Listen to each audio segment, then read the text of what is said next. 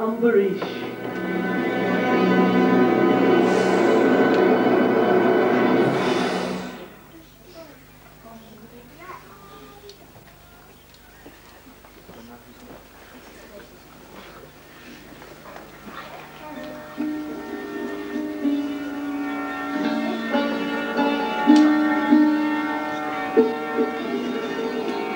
to the Srimad Bhagavatam, many thousands of years ago, there lived a most exalted and virtuous king called Maharaj Ambarish.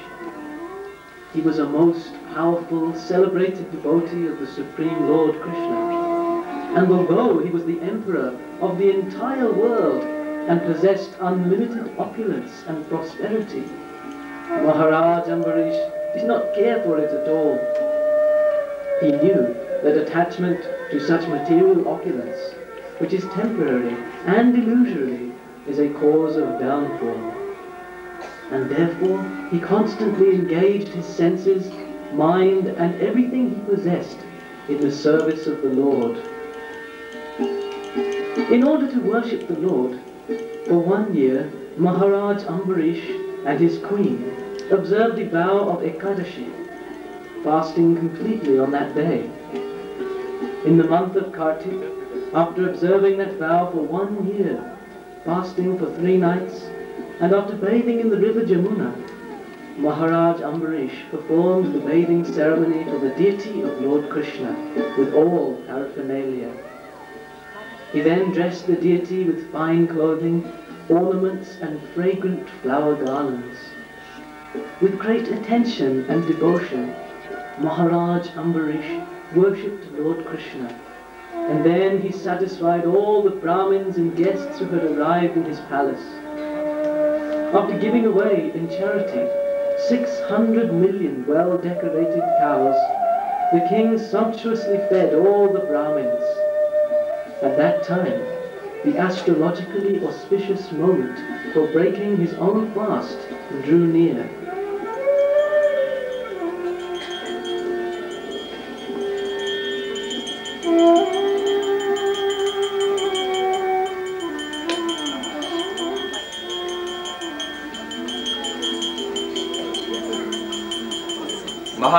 Ambarish is such a perfect ruler of the people.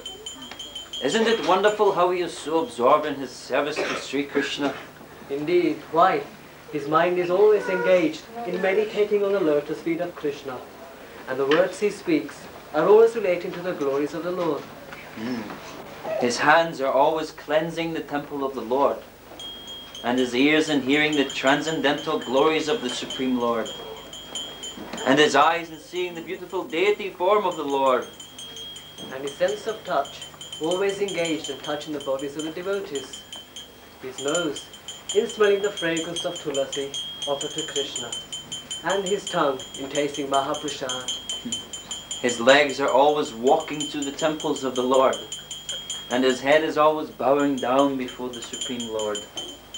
And all the desires of Maharaj Ambarish are for serving the desires of the Lord, 24 hours a day. Maharaj Ambarish is a pure devotee.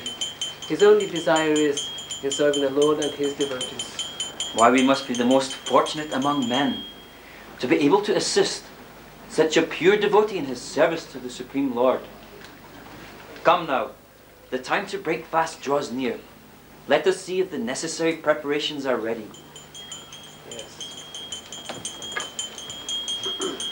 False glorification by the Brahmins.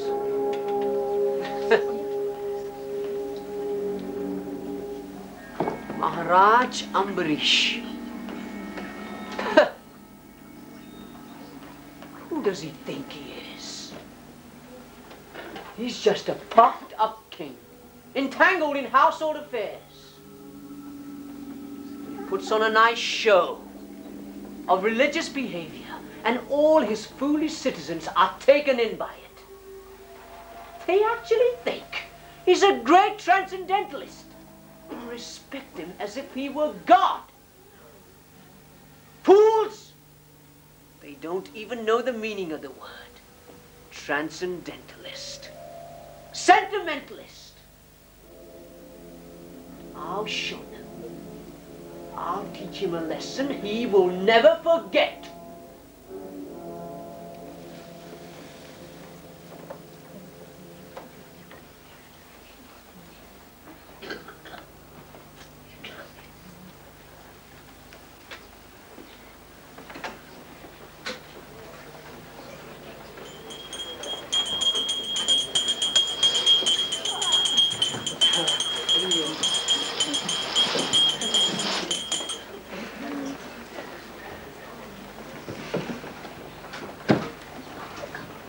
Ambarish, now that you have perfectly worshipped the Supreme Lord, and all the Brahmins are satisfied, it only remains for you to break your fast.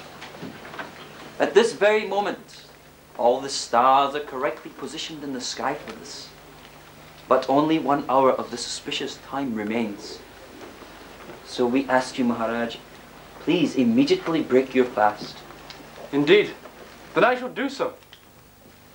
But first, I would like to thank you for your kindness, O best of the twice-born Brahmins. I'm indebted to you for assisting me on this special occasion, as you have done so and so many others. Maharaj, it is our privilege and good fortune that you've allowed us to do so. You're most kind. But in truth, I am very fallen. A wretched householder, engaged in politics, diplomacy, and other materialistic affairs. If it wasn't for the constant guidance of pure-hearted Brahmins like yourselves, who are all my spiritual masters, I would never have had the opportunity to worship the Supreme Lord Sri Krishna. Maharaj Ambarish, why you are the most exalted among the devotees. You cannot hide your transcendental qualities from us. Your humility and freedom from pride only go to prove further your transcendental position. Simply out of duty alone, you act as king of this world.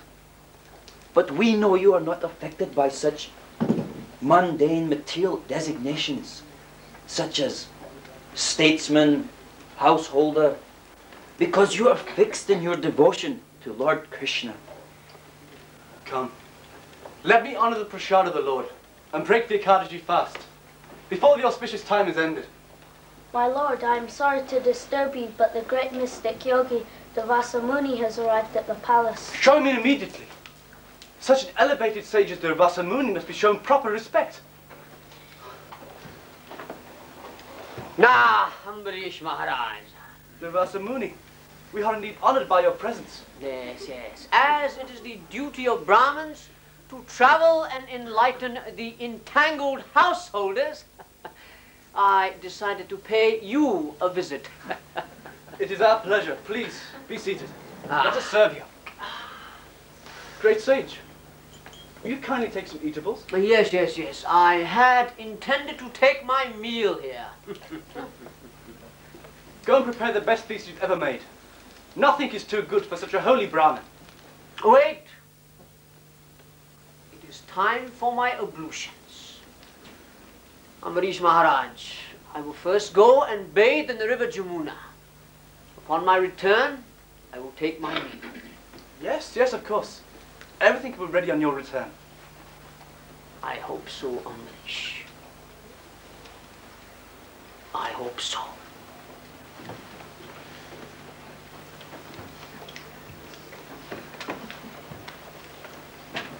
Why, this is completely unexpected. Why has Durvas Muni suddenly appeared? It doesn't matter. He's a holy Brahmin and a great powerful mystic yogi. As king, I must show him proper respect. But Maharaj, this creates a dilemma for you. As you know, it is against religious principles to break fast before your guest has eaten. It doesn't matter. I shall simply wait until he returns, and then I shall eat. But Maharaj, time is running out. If you do not break your Ekadashi fast soon, there will be a flaw in the observance of religious principles. Yes. If I break my fast, it'll be an offense towards Durvasa Muni. But if I don't, I will be transgressing religious principles. A dilemma indeed. Maharaj, the time is running out. I have an idea. If one takes water, is that not said to be breaking the fast and also not to be breaking the fast? Why, yes, Maharaj. If you take a little water, this will be sufficient to break your Ekadashi fast. And at the same time, the rules in regard to receiving a Brahmin will not be broken. Yes, it's perfect solution. Come, Maharaj, take water without delay. Time is still auspicious.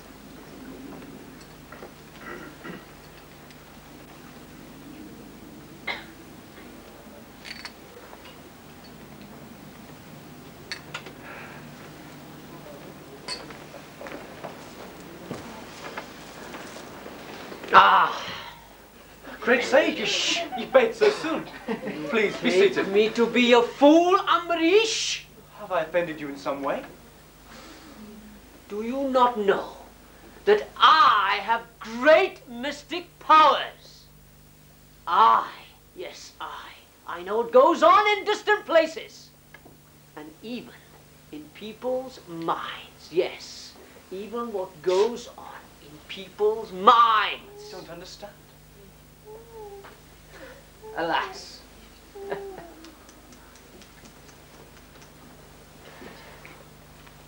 To see the behavior of this cruel man.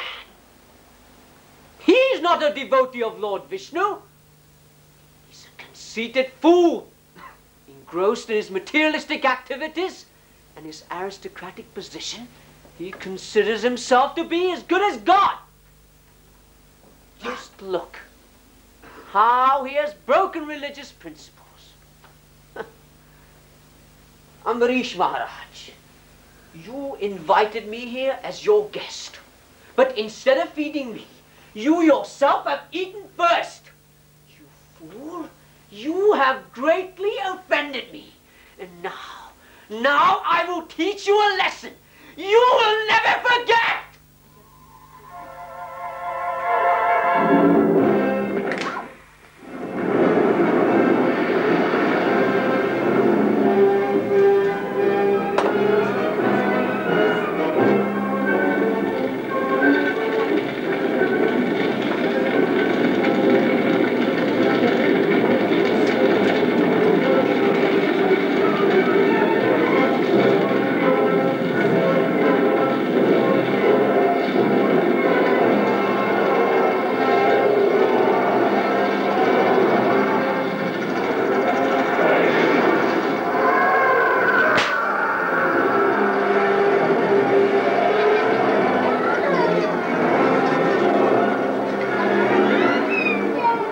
fiery demon created by Durvasa was burnt to ashes by the Sudarshan. And thus Maharaj Ambarish, being a surrendered servant of the Lord, was saved. This Sudarshan discus, which is the most powerful of all weapons, is employed by the Lord to kill sinful and dangerous demons who threaten devotees. And even Durvasa Muni could only flee in fear from that discus. Flying at the speed of mind, Durvasa Muni traveled all over the planet, trying to escape the burning heat of the Sudarshan Chakra. Through forests, mountains, and even into the depths of the ocean he fled. But wherever he went, he was immediately followed by the unbearable fire of that divine weapon. Then, by his mystic power, Durvasa Muni left the Earth's atmosphere and flew into space, seeking shelter of the higher planets.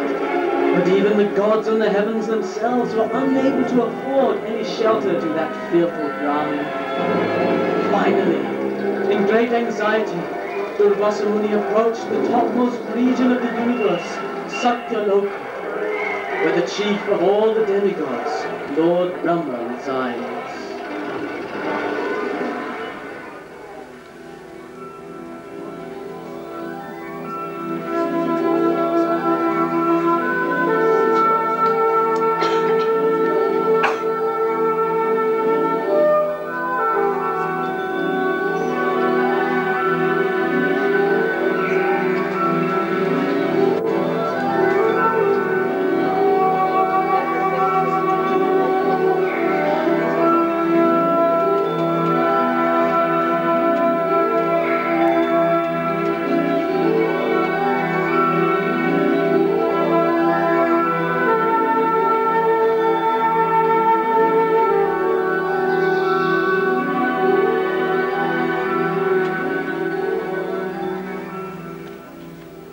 My lord. Oh, Lord Brahma. I'm being pursued by the blazing disc weapon of Lord Vishnu, the Sudarshan Chakra. Please, help me. Protect me. Otherwise, my life will end this very day.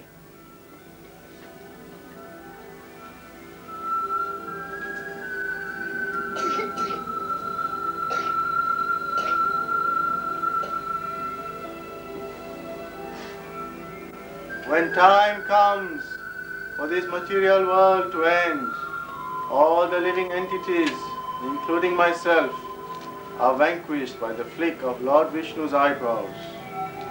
We are not independent. We simply pay our respectful obeisances to the Supreme Lord. Even I, myself, the creator of the universe, pay my respectful obeisances the Supreme Personality of Godhead, without whose grace I can do nothing. You mean, my lord, you cannot help me? I cannot help you. Then I am doomed. What to do? What to do?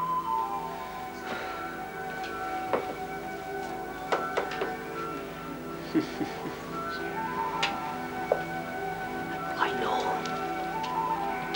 I know.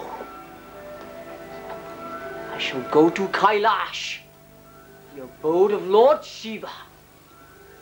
Surely he will give me shelter. He's more powerful than Lord Brahma anyway. Lord Shiva. I must leave immediately. Sudarshan Chakra approaches again.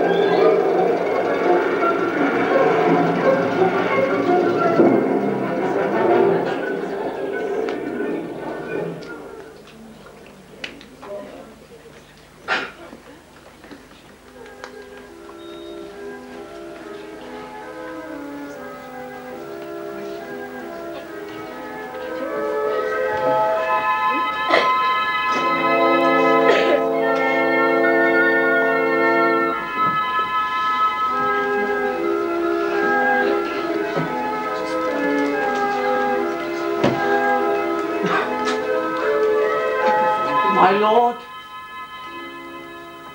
O Lord Shiva, Lord of darkness, O greatest of demigods, O Ashutosh, O Bhutanath, please, please help me.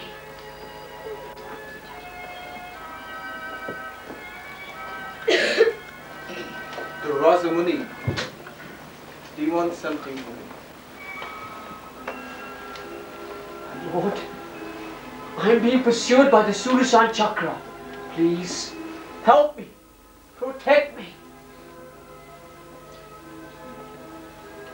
Past, present, and future are known to me.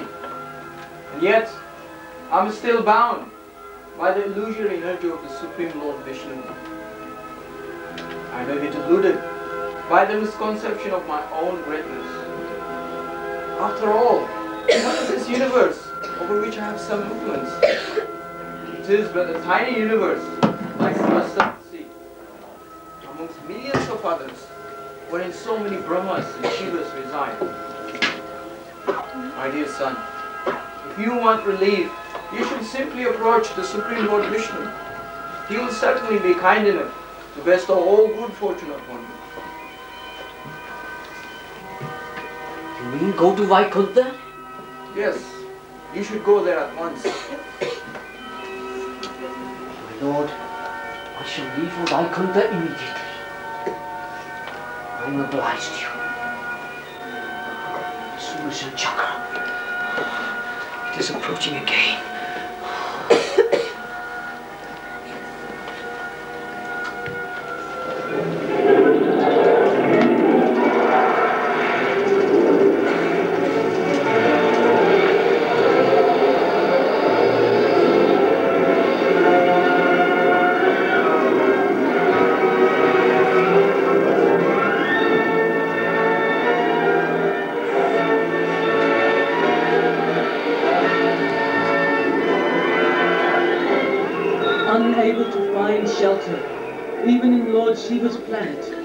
Durvasa Muni penetrated the eightfold layers of the universe and entered the spiritual realm known as Vaikuntha Dham, where the Supreme Personality of Godhead, Lord Narayan, resides.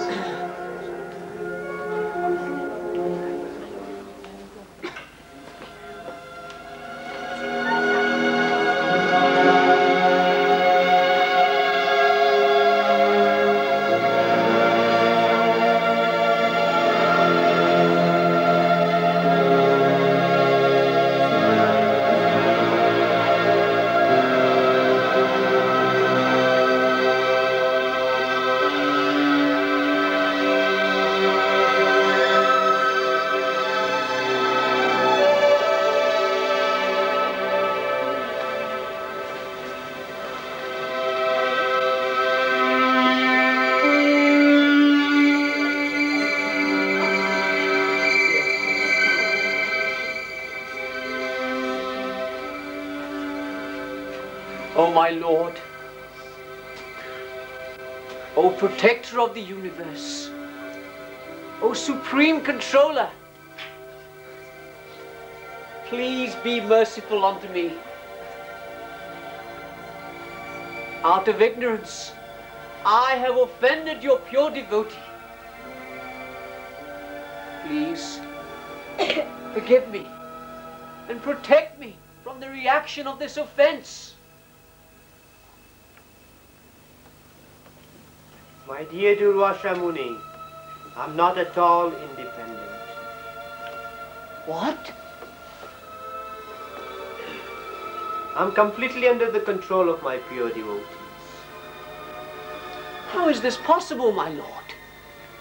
Because my pure devotees have given up everything families, riches, friends, relatives just to serve me. How then can I neglect them? Just as the chaste wife brings her husband under her control through service. Similarly, my pure devotees bring me under their control through pure devotional service. I always reside within the core of the hearts of my devotees.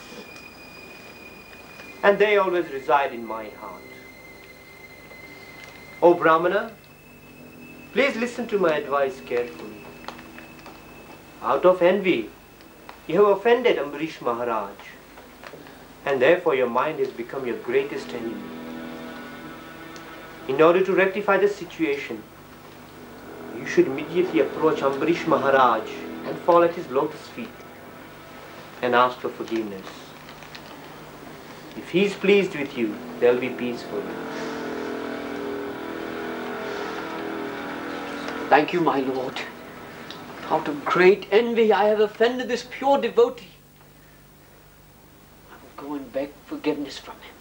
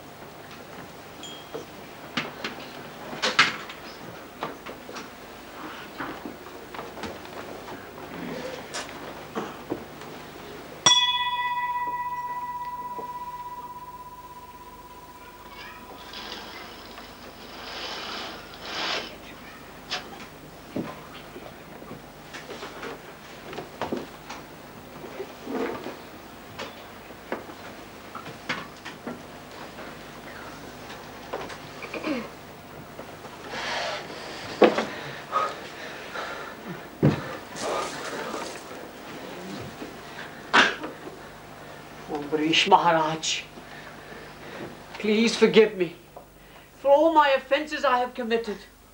Please, protect me, save me. Look, my lord, look. Help me, protect me.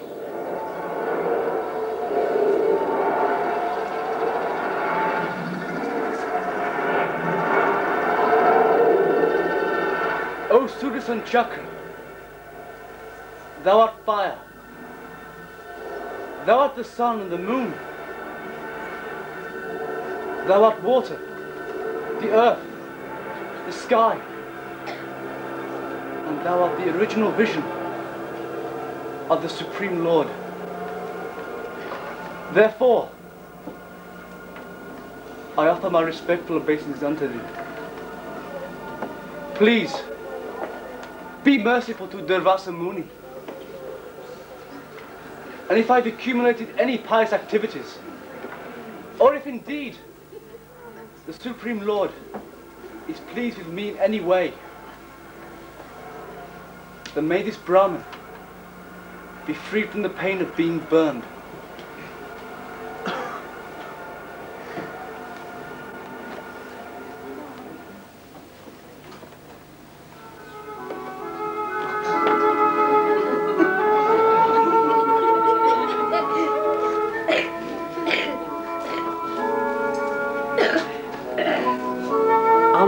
Maharaj, you have saved my life. Despite all my horrible offenses, you have prayed for my great fortune. Please, please, I am indebted to you, totally.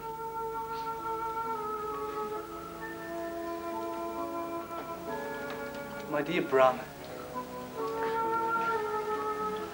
I deserve no credit for your deliverance. It is all the mercy of the Supreme Lord. Now please, be seated.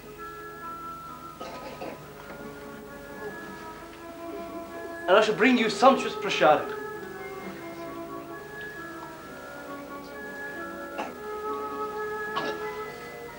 My dear Brahmins, today I have witnessed greatness of the devotees of the Lord. Yes, Durvas. There is nothing in the three worlds which can compare to the association of pure devotees. Maharaj Ambarish had fasted for one whole year, thinking he had committed some offense against you.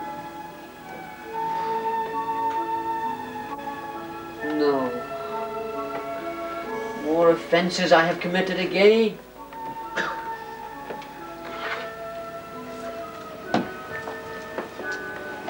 Here's your prashad. I hope you're satisfied. I am satisfied. By your mercy, I am fully satisfied. Please, come now. Come and sit down and take prashad. I insist. I have made you fast long enough. Maharaj Ambarish, I thought you were an ordinary human being. And out of great arrogance, I tried to punish you. punish you. But now, now I have learnt my lesson. Now I understand that you are the most exalted devotee of the Lord. Simply by seeing you, touching your lotus feet, and speaking with you, I have become greatly pleased.